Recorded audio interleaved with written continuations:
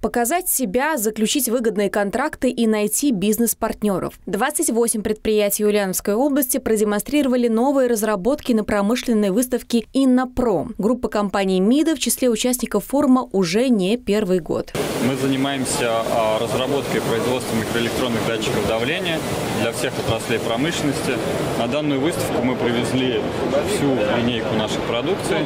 Мы разрабатываем, производим датчики давления для нефтегазовой отрасли, для нефтехимии, для горной промышленности, атомной энергетики и так далее. Предприятие на рынке уже более 30 лет и имеет 1700 контрагентов по всей стране. В рамках промышленной кооперации и участия в различных делегациях ульяновцы нашли новых партнеров. В том числе на Инопроме подпишут соглашение с крупной нефтегазовой компанией «Новомет Пермь» и «Гомсельмаш».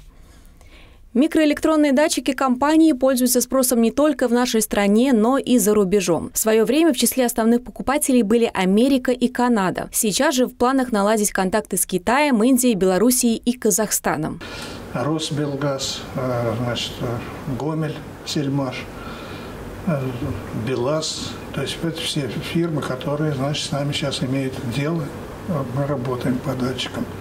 То есть датчик, он везде нужен. Поэтому есть, э, если так говорить дальше, это и э, нефтяники, это большая группа газовиков. Не обходится и без новшеств. Одни из новых датчиков предприятие представило также на выставке. Это вакуумные, криогенные и датчики давления. На ВНИИМ, это Ленинградский институт Менделеева, значит, поставили датчик наш, как эталонный.